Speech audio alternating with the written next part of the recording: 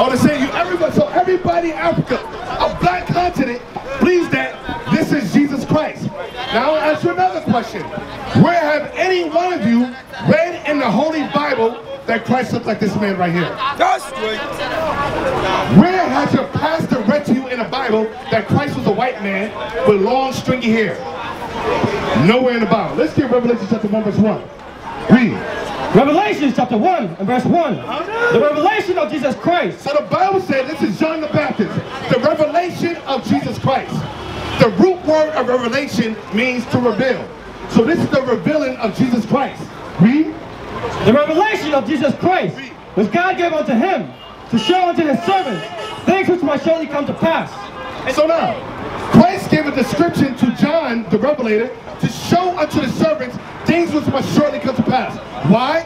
Because Christ knew prophetically that the European colonizers will come into Africa, will not only take your resources, not only take your gold, not only take your land, but also take your people, the slaves, send them to America, and then give you a white image to worship. Now go to verse 14. Revelation chapter 1 and verse 14. His head and his hairs were white like wool. So the Bible says, Christ's head and his hairs on his head were white like what? His head and his hairs were white like wool. White like wool. What people on this earth have woolly hair? I'm asking you a question. What people have woolly hair? Huh? You say what? Okay, what people on this earth? What race of people? Do white people have woolly hair? You know what woolly hair is? This is woolly hair. This is woolly hair. Do white people have woolly hair? You said white people have woolly hair? No. Do Chinese people have woolly hair? No. Do Japanese people have woolly hair? No. Do black people have woolly hair? Black people, don't, you don't have woolly hair? You have woolly hair. You have woolly hair. You have woolly hair. You have woolly hair. So the Bible's describing Christ. His hair texture to be what? White and what else? Woolly. Now, does this image right here have woolly, white woolly hair? No.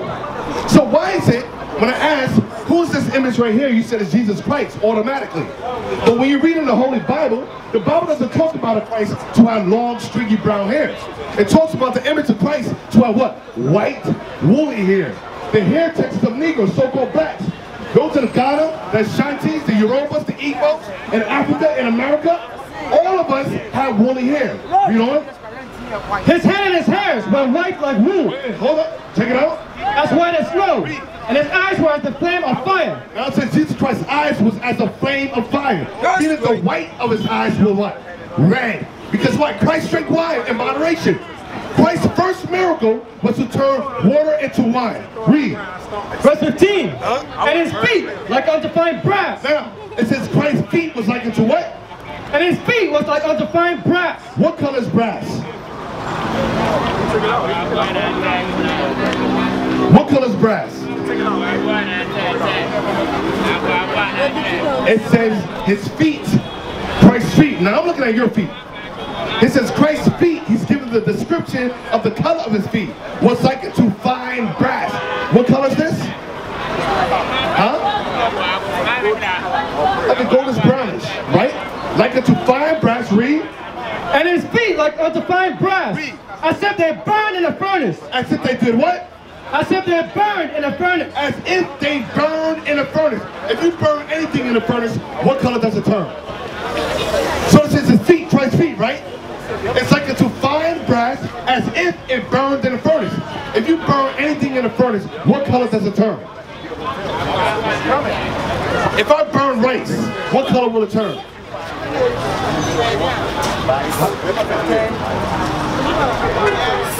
Yeah, It would turn what color? yeah. You said white? And it would, as if it burned in a furnace.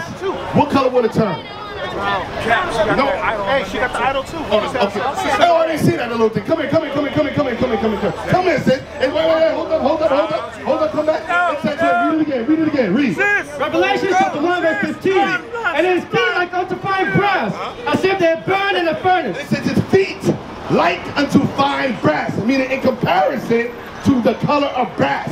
As if it did what? As if they burned in a furnace. If you burn anything in the furnace, what color does it turn? Come here, sis. Come here, sis. Because this is now, Chris, sis. Come here. Come here. This image right here. Can we read anything up in the Bible about this image? Can you find this image in the Bible? Come here, brother. Come here. You're not done. We're not done with you, brother. We're not done with you because the first thing you said, I asked you, who's this man? You said it's Satan. Now, based upon the description we're reading in the Bible, sis, you got to take this. Because we just read this like Christ according to the Bible. Christ warned us that no man deceive us. But if for some reason in Africa, everywhere we go, Ghana, Sierra Leone, Liberia, why is it in a blackest continent do we have white images all over the churches? But not one of you read in the Bible that Christ is a white man. Translate for. Now where, but what? But, yeah, it's gonna be hard, it yeah. Same thing. Yes. Translate for me. Get it, get it, get it, get it. Get it, get it, get it, get it, get it. What? Hey, brothers, brothers, come back, come back, come back, come back. Sis, come back, come back, come back. All right, read it again. Read it. Revelation chapter 1 verse 15. And his feet like unto fine brass, as if they burned in a furnace. So the Bible says Christ's feet was like into fine brass. That's right. As if it burned in the furnace. Read that. Kasi, woka Revelation chapter 1 verse 14. Kasi Kristo, ne nan ne nipadua te sɛ yawa a yɛahye no wɔ fonu mu. Wonim yawa atanka anaasɛ apɔtɔyewa ɛna ɛyɛ yawa na ɔna yɛahye no wɔ fonu mu. So where is it that in Ghana, Sierra Leone, everywhere you go, all over Africa, a black continent, do you have white images in your churches, in your walls, on your necks, on your chains? Where is that in the Bible? Who taught you that Christ is a white man? Who taught you that Christ had long stringy hair? But your enemy. You allowed the Europeans, the French, the British, the Dutch to come into Africa, only to take your land, take you as slaves, take the resources of the land, but also take your mind. That's Not right. only did the white man colonize Africa, but the white man colonized your mind. Be that. No a sɛ Ghana Sierra Leone anaasɛ Congo a, bɛbɛ bɛkɔ bɛbɔ akɔsi buroni ne image ɛna ɛte sɛ wɔ sɛ Yesu Kristo. Ɔmo aba ɛ, bibiri mu abɛfa yɛ yɛ gold yɛ diamond ɔmo adi ɛfa ɔmo ani yɛ nipadua nso ka ɔmo asɛ di yɛ adwene so nti baabi a bɛkɔ bɛbɛ oburoni Kristo sɛ yɛ dɛ aprinti wɔ yɛ adwene na deda yɛ kuo mu ɛwɔ yɛ kyɛn nso so ɔno na asɛ yɛ adwene bɛsi dɛ. Give me Matthew chapter 24, verse 3. Bring it on. Because Christ warned us of a deceiver to come on this earth. Christ warned us for the Europeans to come into your country. Now, a lot of you received the curriculum. A lot of you been baptized by the Europeans. You took on the religion. Who taught you to be a Who taught you to be a Jehovah Witness? Who taught you to be Seventh Day Adventist? How you doing, sis? How you doing? Let me ask you. You go to church? What's your religion? Huh? You're Presbyterian. Okay, you're Presbyterian. Now let me ask you a question. When Christ came on the scene, was he teaching to be a Presbyterian? Was he teaching to be a Jehovah Witness? Was he teaching to be a Seventh-day Adventist? What about to be a Mormon? So why is it today in Ghana and Africa, all throughout the world, we took on the religions of man? Where did Christ teach us to be all these things? Give me that in 1 Corinthians chapter 1 verse 13. Because when you read the Bible, all of us are divided in Africa, right? One person will say, I'm a Baptist, based upon John the Baptist. So they say, you know, I'm a Baptist, so I'm going to baptize. One person says, I'm a Pentecostal, because of Acts chapter 2. Another person says, I'm a Roman Catholic. When Christ was on this earth and he was teaching the gospel, when did he say to be any of those religions? Do you believe in the Bible? So why do we take on, hey, how you doing, brothers? Come here, come here, come here. So what, what's your religion? Huh? Christian. What uh, under what denom- denomination? Presbyterian? Roman Catholic? Huh? Catholic? What about you? Hey, sis. Hey, brother, come here. Let me ask you a question. What's your religion? Now, all of us were in the Shanti, right? So how is it that we're one nation of people, we're one race of people, but we're all divided by what? Religion. That's how this contention, this is divisions, this arguments. No, my Jesus and my beliefs is real. Your beliefs is real to you, right? Well, read that 1 Corinthians 1 verse 13. 1 Corinthians chapter 1 and verse 10. Now I beseech you, brethren, by the name of our Lord Jesus Christ, that you all speak the same thing. The Bible says that we all speak the same thing. When Christ came on the scene, he said, if you let me do what? Keep my commandments. Right. That's what the Bible says. Christ, when he came on the scene, Christ didn't say that. You're a Baptist. You're a Jehovah Witness. You're a Presbyterian. You're a Episcopal. You're a Mormon. You're a Muslim. Nowhere in the Bible. Who did that? When the white man came, the French, the British, the Belgians, when they came and they colonized Africa, they divided Africa to 55 countries. It says, you're Shanti, you're Ghanaian, you're Nigerian, you're African, you're whatever, oh, you're Liberian. But Africa's one continent. But how's Africa divided into 55 countries? How's Africa divided by more than 10 different religions? Because we allowed the enemy to come into our land and give us a false teaching, a false religion that did not come from the Messiah. Read it again. First Corinthians chapter 1 and verse 10. Now I beseech you, brethren, by the name of our Lord Jesus Christ, that you all speak the same thing, uh-huh. and that there be no division among you. That there be no division among you. If, pray, if it's not in the Bible, the Bible says, let God be true and every man a liar. But there's division amongst us, right? Don't you think that? How can Africa come together? You have Africa divided by different countries, also by different political beliefs, as well as different religious beliefs. That's why Africa cannot come together as a people and provide for their own. You gotta go to Russia. And um, Burkina Faso, you have Ibrahim, the new president of Burkina Faso. He has to go to the um, to the Russians rather than going to the French.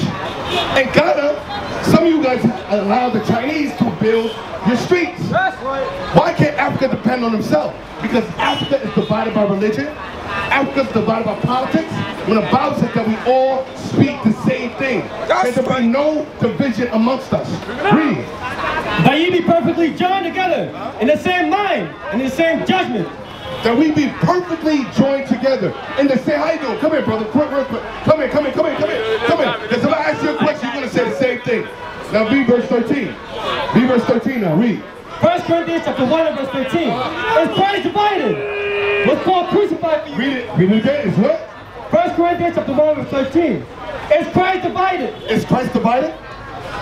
Let me ask you another question. Because Paul says, is Christ divided? Did Christ come to teach us religion? So the question is, who came and taught us religion? Historically, what happened in Africa? Did we learn the different religions that divide us as a people today? Because the Ashanti people are one people. Me,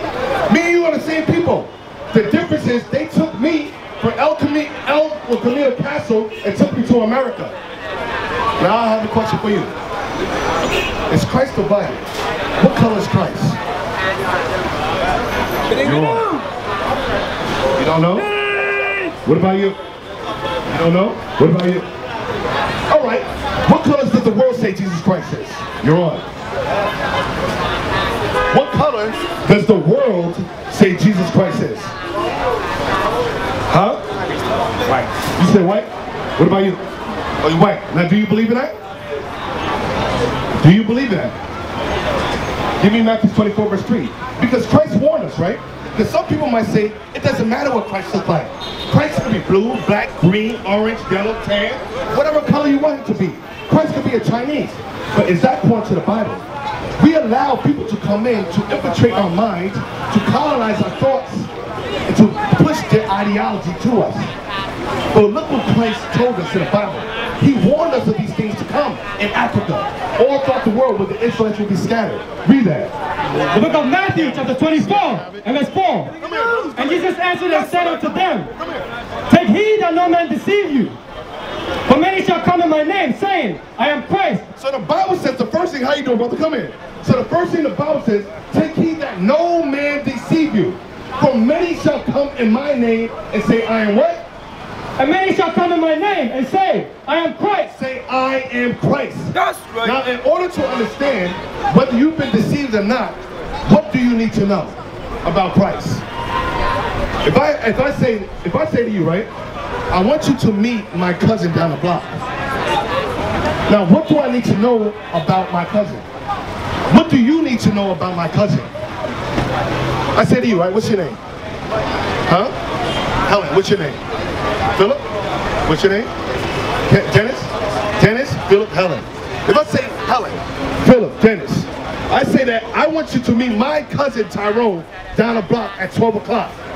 Make sure you speak to the correct person and he's going to tell you things that I told him to tell you. What do you need to know about my cousin, Dennis, Philip, and Helen? Huh? Okay, what about you? Okay, you need to know his name. What else? What about you? You say his name. Give me something different. You said the country he's from? All right, what about you? Huh? His color? Okay, how he looks, right? I say, hey, meet my friend. I want you to meet him. He's gonna have a green shirt on, right? He's gonna have sandals on. This is his hair texture. But if I don't tell you what he looks like, what can happen?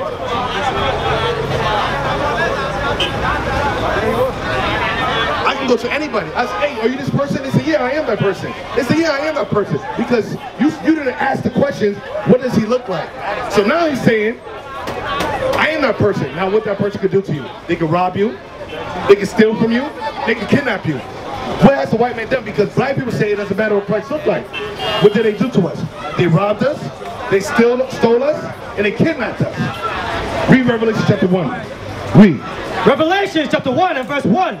The revelation of Jesus Christ, which God gave unto him to show things which are must surely Read it again, slowly. The revelation of Jesus Christ. So now, this is written in the New Testament, the last book of the Bible. Annis, come here, Annis. Let me talk to you. I like that shirt. Annis, come here. Annis, I need you. Annis, you look like a smart guy. Get, come over here.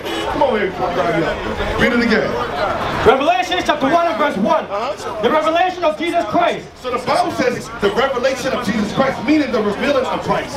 To reveal what? How he looks like. Annis, he ain't going nowhere. Annis, come over here, Annis. Read. Word of God, come on. Which God gave unto him to show unto his servants must surely come to pass. So the Bible says Christ will be revealed in the book of Revelation. Why? He said to show unto his servants things which must shortly come to pass. Why did Christ have to reveal himself on the in the book, in the Bible, of things which must shortly come to pass? Remember, he warned us. He says, take heed that no man deceive you, right? For many shall come in my name and say, I am Christ.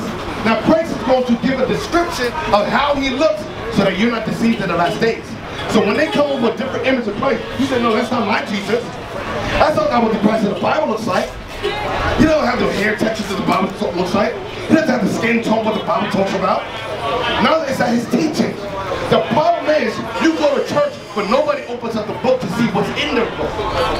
You take whatever they tell you. Read. Revelation chapter 1 and verse 14. Uh-huh. His head and his hairs were white like wool. Come here. Let, let me use you as an example. And my man over there. So the Bible says, you come in, Come in, come in. My man with the red pants. Come in. I know you hear me. His head and his hair. Come in, red pants. Read it again. His head and his hairs Come in, were brothers. white like wool. So the Bible says his head and his hairs were white like wool. God's now, when you look at this image, the images that they have in your churches, the images that you see in your TV, the images that they have open. So these are the images they put. So the very first description of Christ said his head and his ears were white like wool. Wool means